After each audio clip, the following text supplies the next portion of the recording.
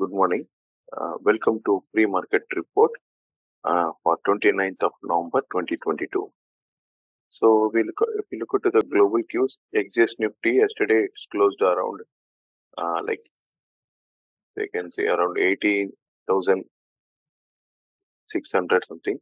Okay, it made a low of 18,567 and a high of 18,756.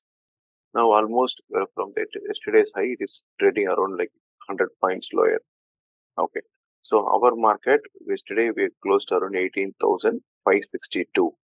As per SGX Nifty, um, we may gap up of 100 points, but expecting a sharp fall once the market gap up.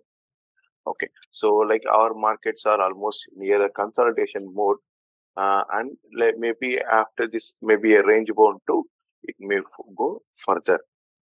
But uh, like we are in the uh, like we are in the fever of like a recession. So every global markets are indicating that recession has to come or uh, like maybe it may reach soon. Like so, so this indicating uh, like a, a fall in global market. So if we look at the open interest so open interest for nifty for this coming weekly expiry.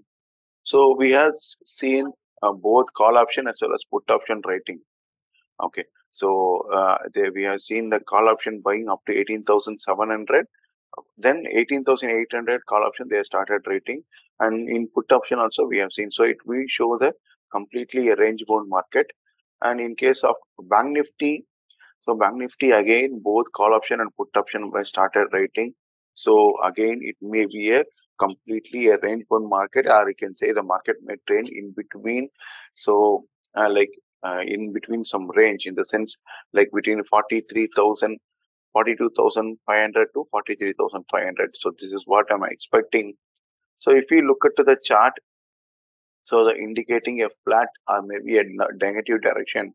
So this may go for consolidation. I'm expecting maybe it may reach this level uh, like 42,500 level, then it may go. So this is what my expectation in case of Bank Nifty. Okay, so the intraday support will be 42,500 and resistance will be 43,500 in case of Bank Nifty. And in case of Nifty, again, it is not still broken this region, it is still in range bound. So I'm expecting Nifty may reverse around 42, 40, sorry, 18,400 and it may go back. Okay, so so in intraday, if the market is gap up, then 18,500 will be the strong resistant support zone. Okay, and 18,700 will be the 18,700 will be the resistance zone. On breaking, you can see the further move. Okay, so that's all about today market video. Okay. So if you like, do subscribe our channel and press the bell icon so that you will get a regular updates whenever I'm posting a new video. So Telegram channel link and workshop links are given in description. You can make use of it. Thank you.